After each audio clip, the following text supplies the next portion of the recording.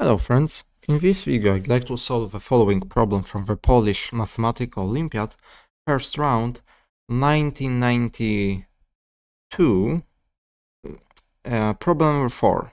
Yes, it's because uh, Polish, the Polish Mathematical Olympiad has three rounds. Uh, first takes place at the end of the year, and the next two rounds are in the next year, so it's edition 92 slash 93. We wish to find all functions f from a set of real numbers into itself such that f of x plus y minus f of x minus y equals f of x times f of y for all real numbers x and y. So it's a rather simple problem. Here are my hints. First, set x and y to be 0 to find f of 0. Then set x to be 0 to show that our function is even, then set x to be y, and finally y to be minus x, and compare the two results uh, which you get.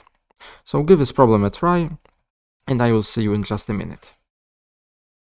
Alright, so as I suggested, let's start by with setting x and y to be 0. What then?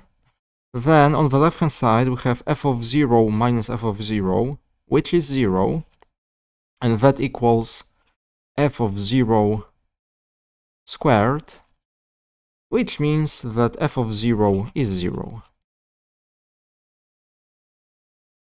Let's keep it in mind. Alright, now let's set something else. Now let's just set x to be 0. Then then we have the following. If just x is 0, then we have f of y minus f of minus y equals, and on the right hand side we have f of x times f of 0, but f of 0 is 0, so it's just 0. Or, in other words, f of y equals f of minus y. That is, our function is even. Then, let's set y to be x. What then?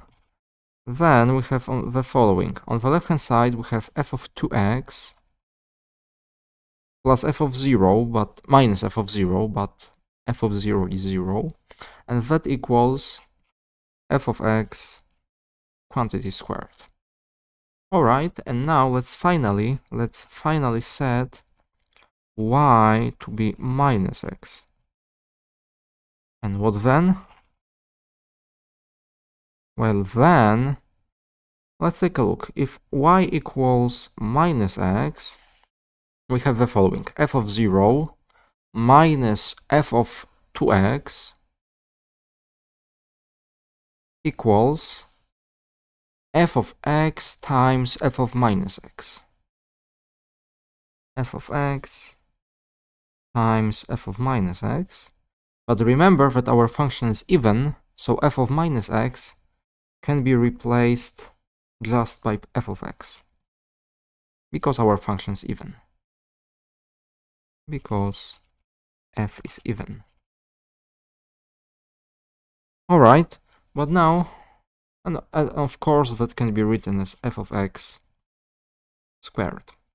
Now let's compare this line with this line, we see that for every real number x, f of 2x equals, well, minus f of 2x, which of course means that our function is constantly 0, i.e. f is constantly 0. And it's very easy to verify that in fact this is the solution. So the only solution The only solution is function which is constantly, constantly zero. And that closes our problem. Thank you very much for watching, I will see you next time. Goodbye.